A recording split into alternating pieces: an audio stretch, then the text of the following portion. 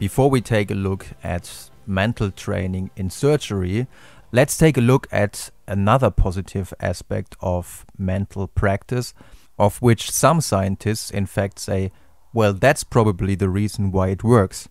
And what I mean is, when your mind is busy with mental practicing, with thinking about the correct movements, it cannot be thinking about all that rubbish. It cannot have thoughts about failure, for example. Uh, what if it doesn't work? Uh, what will other people think? In this respect, mental practice is also a kind of distraction, a, a distraction from these handicapping thoughts. And I think this is one of the reasons why they observed positive results in the following study, which is the study by Malouff and colleagues published in 2008 in the Journal of Sport Behavior. And the title of the study was Effects of Pre-Competition Positive Imagery and Self-Instruction on Accuracy of Serving in Tennis.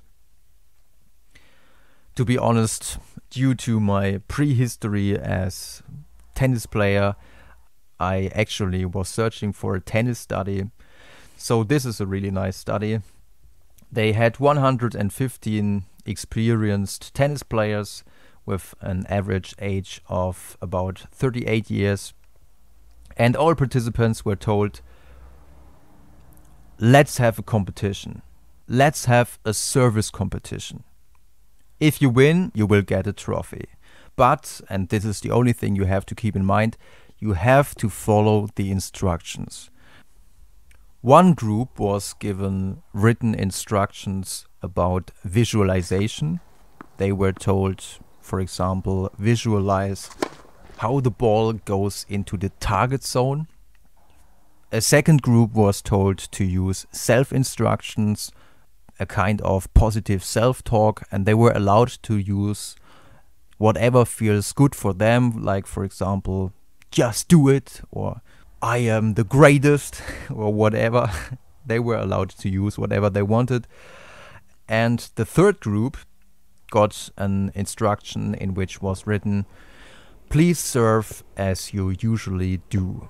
So obviously, this was the control group all subjects were then given 20 attempts. Everybody was allowed to serve 20 times. And they received no point if they missed the service completely. So if they shot out or if they shot the ball into the net, they received one point if they served into the right service field, and they received two points if they served into the target area. So in the T field, there was another target area where they should serve to. What were the results?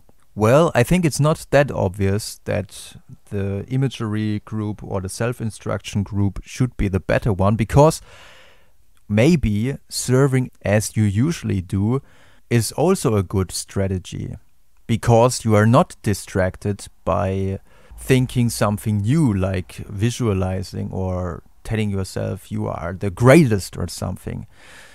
But in this study, it really turned out that imagery or self instruction were better than serving as you usually do.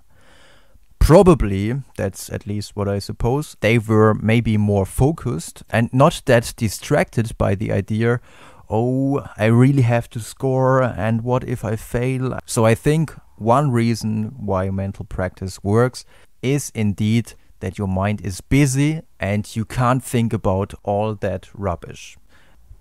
Therefore, it's, for example, also helpful right before a public speaking situation to mental practice the actual speech, to really think about what to start with, and what you say in the middle and how you transition from this point to another. And when this is what you are thinking about, in fact, for me, this seems to be the reason why the beginning of an episode, when I talk to you, is always much more difficult. There are still thoughts about, well, is it really going to work what I want to say? And as soon as I'm in the middle of my speech, it really gets more easy because I'm right in the middle of the actual topic. My thoughts are really focused on the facts I want to present to you, and there's no thinking about, well, what if I say something wrong or something like this.